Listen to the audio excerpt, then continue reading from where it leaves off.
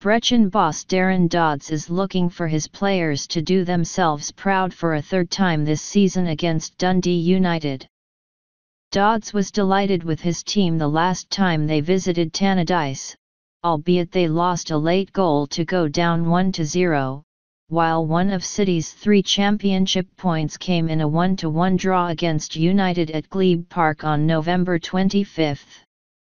The Angus Club will make the short journey down the A90 today still looking for their first win in the championship but, as has been noted by Tangerine's gaffer Csaba Laszlo, they have come close on several occasions. Saturday's home loss to Inverness Caley Thistle was the latest example of that, with City leading 2-1 before a double from substitute George Oakley took the three points back up to the Highlands.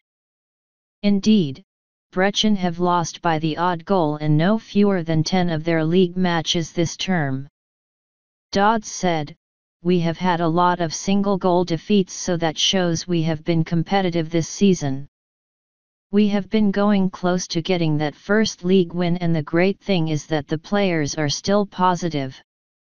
We will just keep working hard. We have also done well in our two matches against United this season, only losing to a late goal in the first match and then getting a great point at home.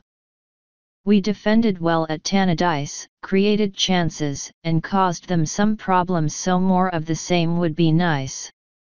We will be looking to do ourselves justice again in this game. The Tangerines, of course, have been dealt a double injury blow to key midfielders Fraser Fyvie and Scott Fraser. Dods, a former Tannadice defender, does not believe that will necessarily help his team this afternoon, saying, They are a couple of big players for United and I wish both well. It's unfortunate for them but we just need to concentrate on ourselves. Sam Stanton hopes Dundee United can put their Paisley no-show behind them as they look to get back on track against Brechin this afternoon.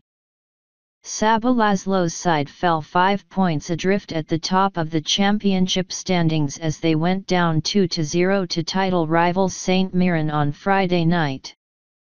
Paul McMullen's early penalty miss proved costly for the visitors as Lewis Morgan netted twice after the break to clinch all three points for the Buddies.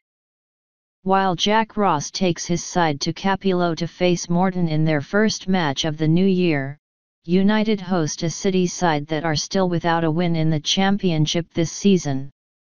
There is still some way to go in the promotion race this term, and United still have a match in hand over the Buddies.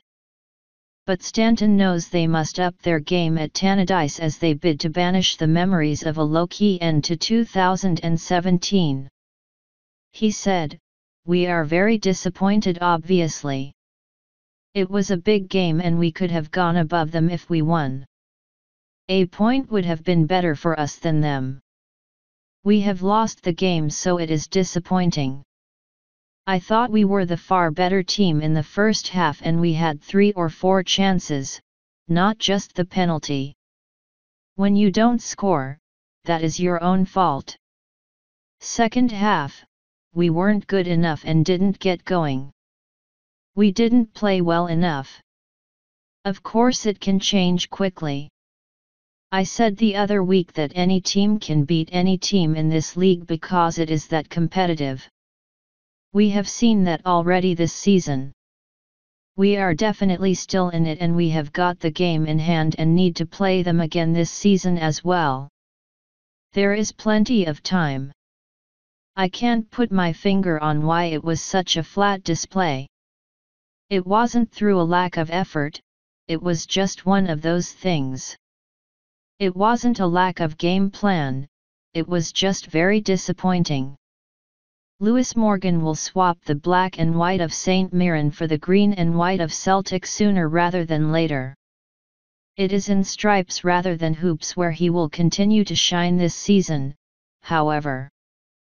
The Renfrewshire Derby meeting with Morton this afternoon could prove to be Morgan's final game before he puts pen to paper at Parkhead but his time away from Paisley will only be temporary this term.